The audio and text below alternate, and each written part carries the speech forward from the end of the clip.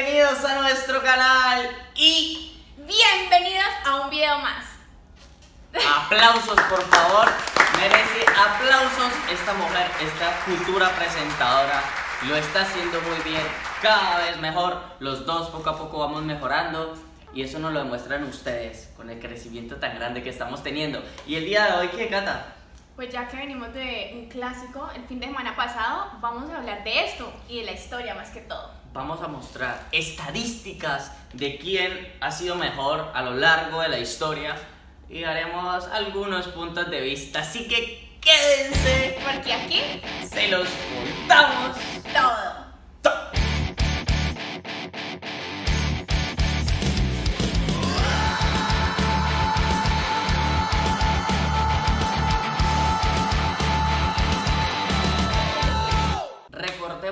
A ustedes que en dos días se va a entregar el primer sorteo.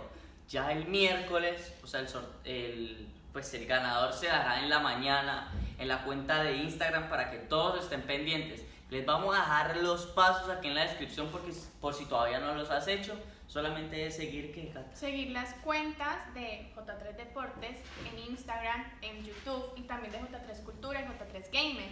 Es súper sencillo y ya entras a participar con esto. Pues recuerda, si no alcanzaste a entrar en el primer sorteo, si no lo creíste, si bueno, no quisiste, todavía quedan dos sorpresas más para todos ustedes. Ya saben, el miércoles se termina otra, pero el próximo miércoles estaremos diciendo el próximo ganador. Pero ya, empecemos Con los clásicos. Bueno, pero es momento de dejar el fondo blanco de J3 Media. Irnos a qué estadio, Cata? ¿Al Pascual o nos vamos a Palma Seca? Pues al Pascual. ¿Al Pascual te quieres Sí. ir? Bueno, entonces ubiquémonos en el estadio Pascual Guerrero, ya que estamos hablando de clásicos, ya que vamos a empezar hablando. Pero antes de hablar de lo que siguió el fin de semana pasado, ¿no? ¿Por qué no damos un reencuentro de la historia? ¿Quién ganó ese primer clásico y cuándo fue? Pues cabe resaltar que el primer clásico vallecaucano fue en 1948, en septiembre, en donde lo ganó el Deportivo Cali. Sí, ¿cuánto quedó ese partido? 4-3 ganando el Deportivo 4-3 Cali. partidas y el segundo quién lo habrá ganado, ¿no? Fue a los tres meses, el América de Cali ganó 1 a 0. Ah, la revancha, definitivamente el América se vengó después de haber perdido. ¿Cuánto? 1-0 me estás 1 diciendo. 0 ganando. Bueno, pero cabe resaltar que sabes que el Deportivo Cali, aparte de haber ganado el primer eh, partido de clásicos, es el que más partidos ganados tiene. ¿Sí? Sí. ¿Sabías que el América de Cali tiene 90 victorias el Deportivo Cali, como te decía, tiene más victorias y 106 victorias? Sí, pero ¿tú sabes cuál de estos dos equipos ha tenido la mayor goleada? ¿Quién? ¿El América? El América de Cali 5 a 0, en donde los escarlatas hasta actualmente se sienten o se enorgullecen de este triunfo. No, pues es impactante, ¿no? Esa rivalidad que tienen estos dos equipos. Y también cabe resaltar que está entre los 50 clásicos mejores del mundo entero, ¿no? Ya te imaginarás cuál es el primero, ¿no?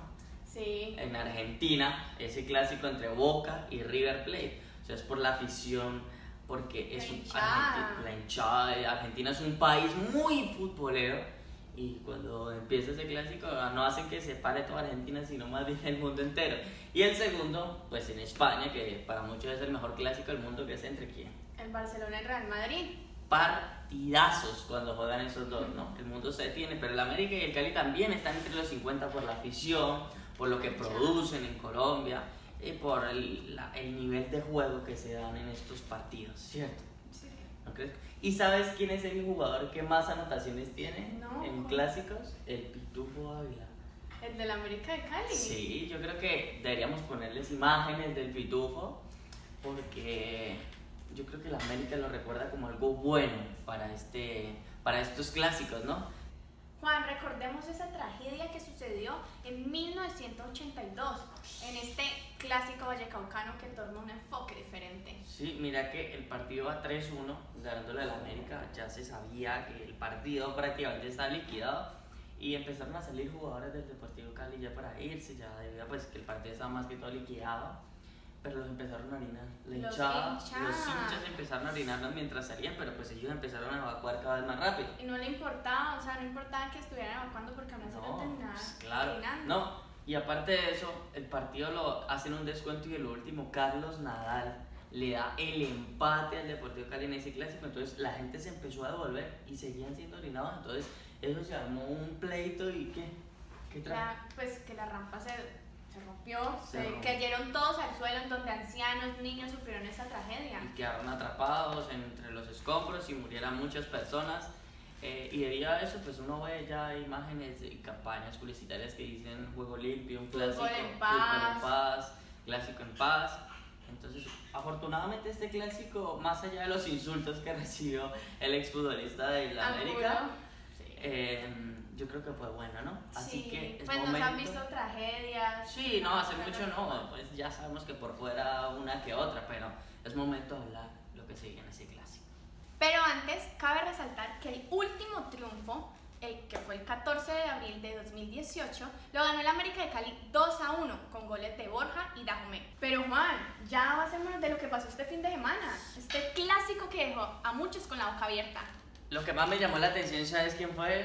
Juan Camilo Angulo. Porque él tuvo una jugada, ¿te acuerdas ese tiro libre que tuvo el Cali y que pegó en el travesaño? Que todo el público le gritaba de todo al jugador. Sí, porque él está acostumbrado a hacer goles con el América de Cali de tiro libre. Y con el, eh, con el Deportivo Cali aún no tiene No goles. podido. Entonces se notaba el hambre de querer marcarle al América, no lo logra y aún así sale expulsado en el partido. Mal comienzo para Juan Camilo Angulo. Creo que yo creo que le falta más el potencial que tenía con el América de Cali. Sabemos que es complicado jugar contra un ex equipo, más saliendo de la cantera. En la cantera del América de Cali. Pero yo creo que él se quería burlar de la hinchada y por eso le sucedió lo que le pasó. Y eso que dicen que él es hincha del América de Cali y aún así burlándose, muy triste. One day my father, he told me, son, don't let it slip away. He took me in his arms, I heard him say,